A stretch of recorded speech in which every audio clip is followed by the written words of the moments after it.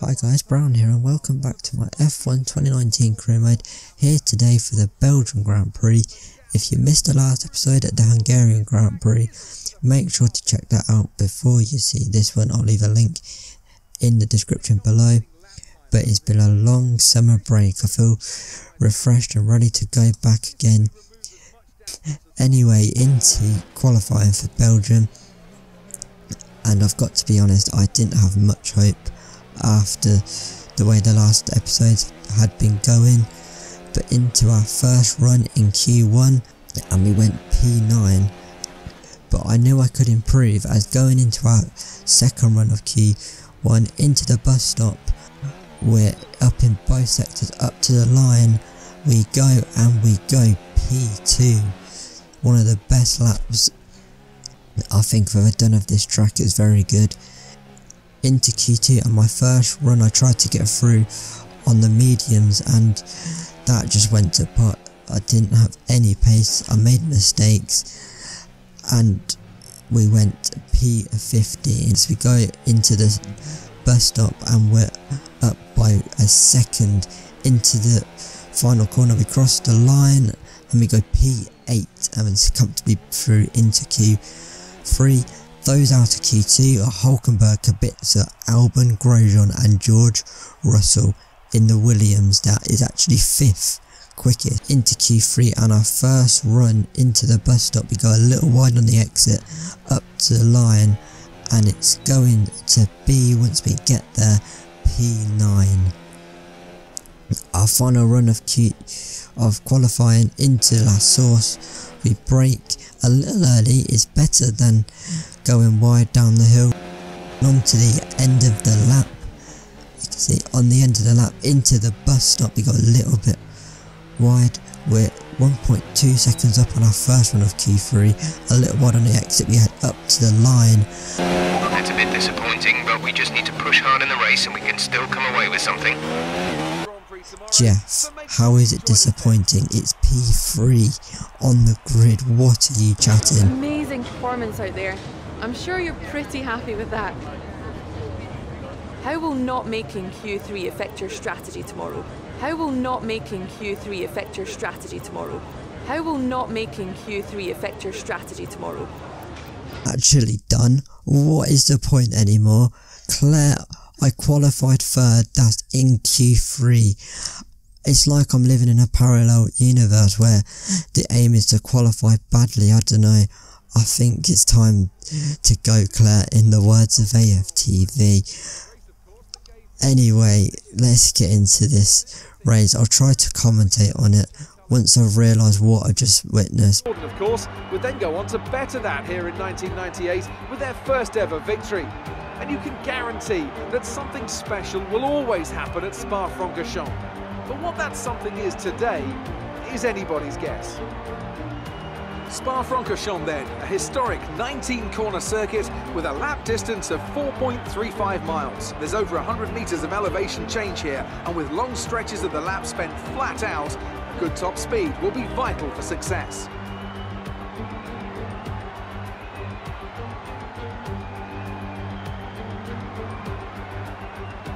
It's an absolute pleasure to be joined once again by Anthony Davidson. Let's talk about Brown. What do you make of their performance so far this season? It's been a really solid year so far. There have been some incredible standout performances, but what's really impressed me has been the consistency. With this kind of form, I'm expecting another great race today.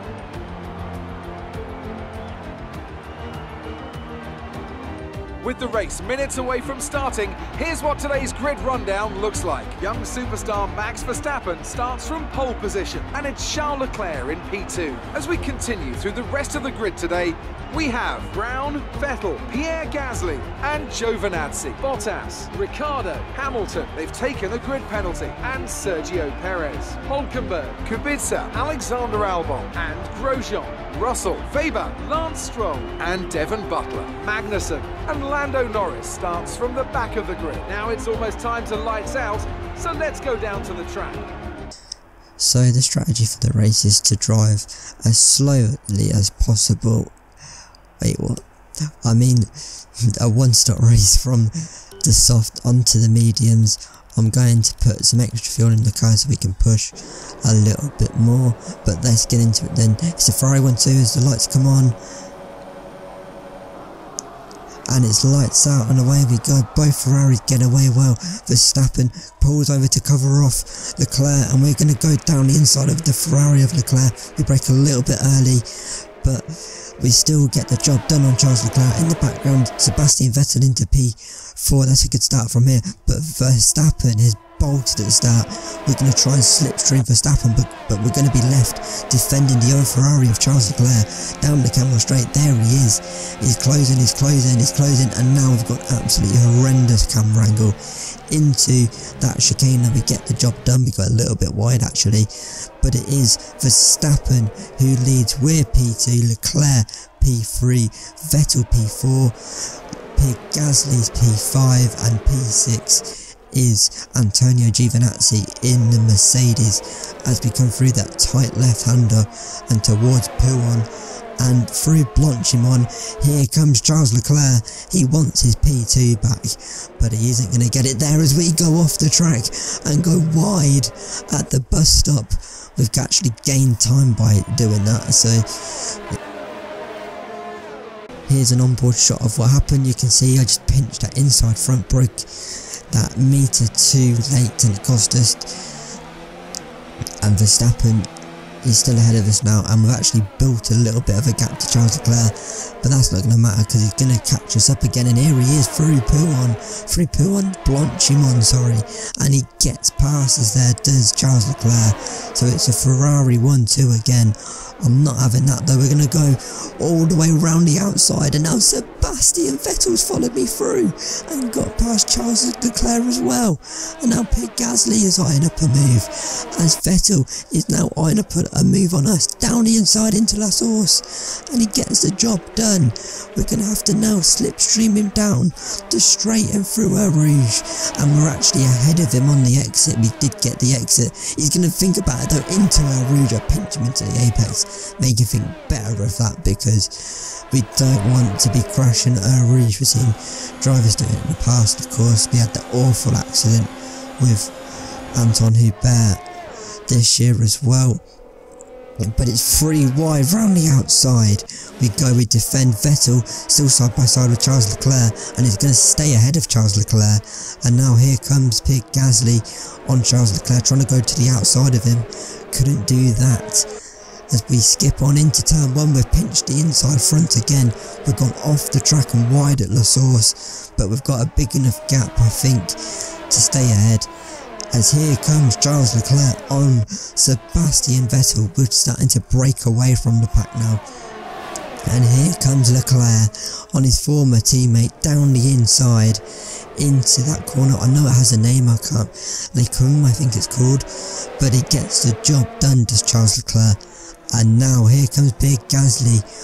He's going to try and go to the outside of Sebastian Vettel. Couldn't quite do that.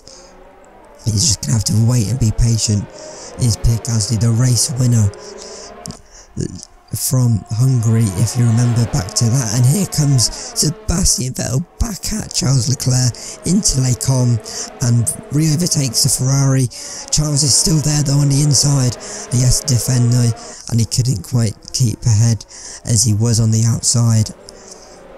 And Gasly constantly having a look to the outside of that long corner, I think it's called no name corner, something like that as here comes Pierre Gasly, he's on the back of his former Frenchman, of course, uh, and they are good friends, I think, Pierre Gasly and Charles Leclerc, but they aren't going to be after this, as down the inside goes Pierre Gasly on Charles Leclerc. Leclerc's still there, though, on the outside, but he won't be for much longer, as Pierre Gasly moves up into P4 of this race.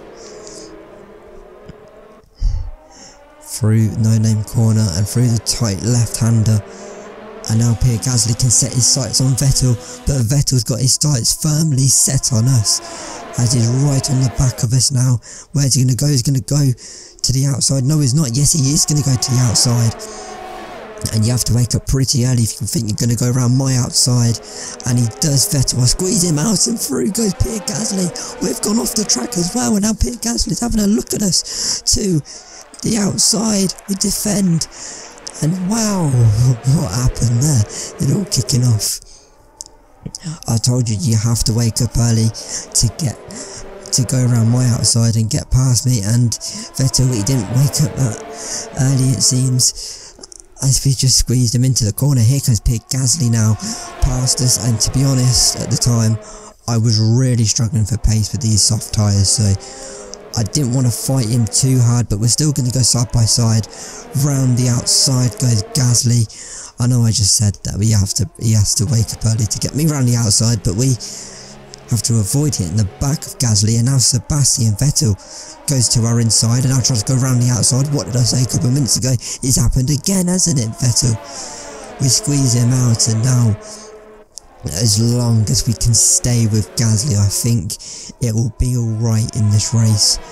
Um, I didn't think it was worth fighting Gasly too much, he'd clearly got some pace. We were struggling with the softs and I thought if he can go and get Verstappen then we might as well just let him as back pass as comes Vettel to the inside this time. We're going to have to defend all the way around the outside. Now to the inside and now back to the outside again and we're still side by side with Vettel. Giovinazzi trying to get involved and we're still on the outside of Sebastian Vettel. This is great racing into no name corner that tight left-hander. We're going to squeeze out Vettel again there. And now Giovinazzi is going to seize his chance. Down the inside and he gets the job done on Sebastian Vettel, just the Italian. Of course, this is home Grand Prix in the next episode. He'll be looking to get a good result there.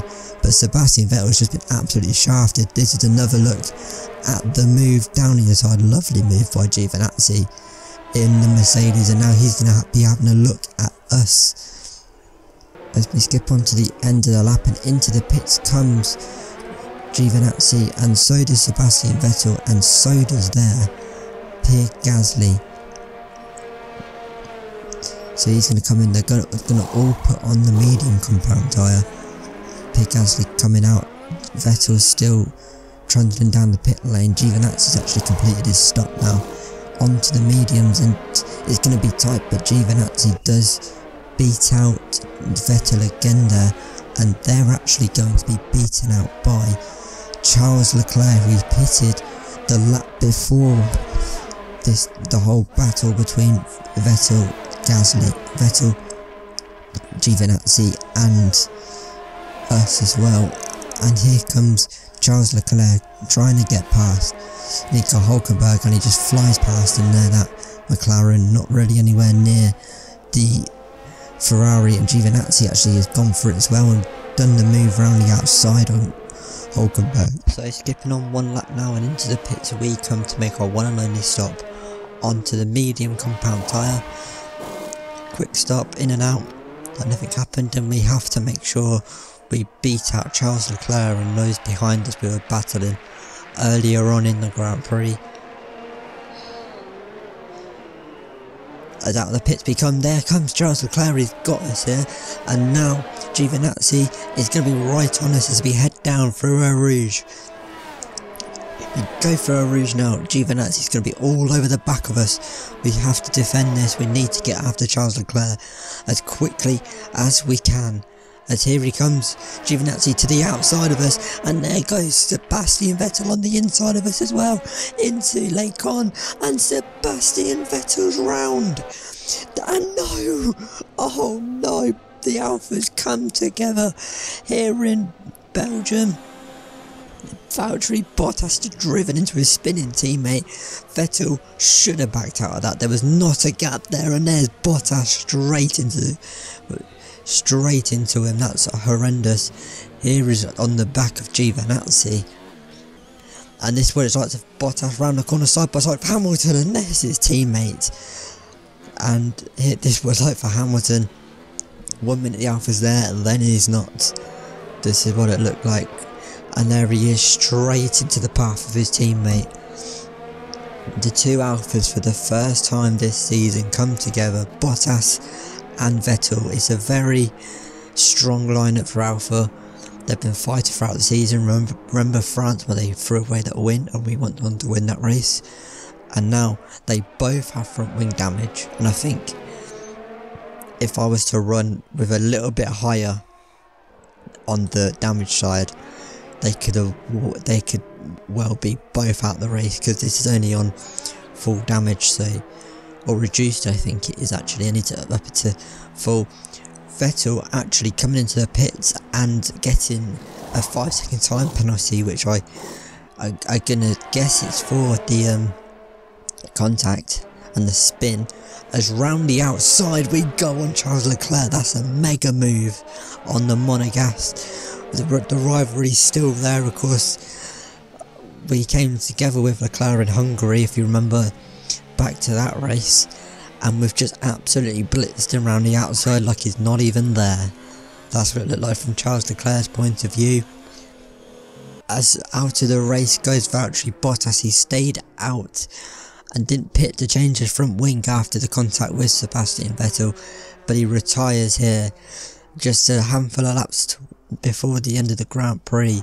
But Valtteri Bottas is out of the race, and here comes Charles Leclerc. He's trying to get back at us now into Combes. We defend the Monegasque, and we just need to pull away from him now as round the final corner, here comes Charles Leclerc. We've gone wide.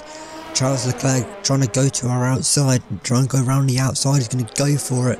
We defend to the inside, squeeze him out. He has to brake harder because we're coming across onto the racing line and now he's going to have to sit there and wait. As into the final corner comes Max Verstappen. It's been a dominant race for him and he wins in Belgium, his home ground Prix pretty much and for the second weekend in a row, Pierre Gasly comes round the final corner to finish P2. It's not the win of Hungary, but into the final corner, into the bus stop chicane become we pulled a small gap over Leclerc, and we are going to take P3. Yes, that's a podium. Excellent drive. The team have worked especially hard this weekend, and this is a fantastic reward. So, another excellent win from Ferrari. Tell me, Ant, how did they manage to achieve this win? Well, I think it was clear what the main contributing factor out on the track was today speed. I know it sounds like an obvious thing to say, Crofty, but fast cars win races, and we saw that today with our winner. Looking at the podium, you can see that red suit familiar to fans across the globe. A world-class win for a world-class team. Ferrari do it again.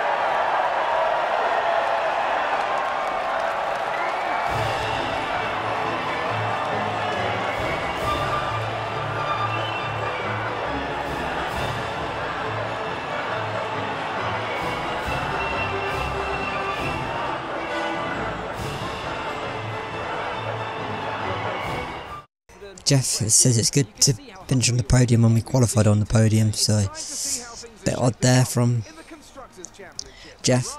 But that anyway, that has been your Belgium Grand Prix. It's a win for Max Verstappen, who increases his advantage on us and closes it to us as well.